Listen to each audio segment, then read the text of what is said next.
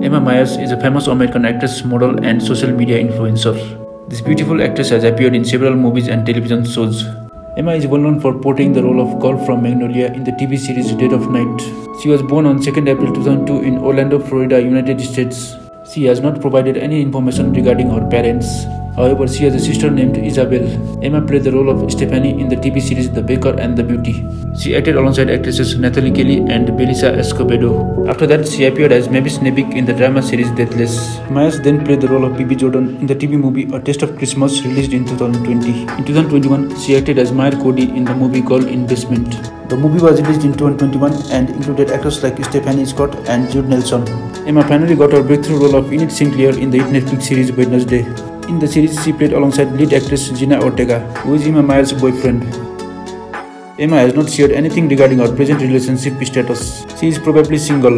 What is Emma Myers' net worth? Emma has an estimated net worth of $100,000. Her favorite style of dance form is contemporary, which involves incorporating aspects of movement from several other genres such as jazz, modern, and ballet. Back in her childhood days, Emma had a huge crush on Romeo from Romeo and Juliet and she believes that it was because James McAvoy voiced the character. Emma is a cat lover and has a pet cat in the house.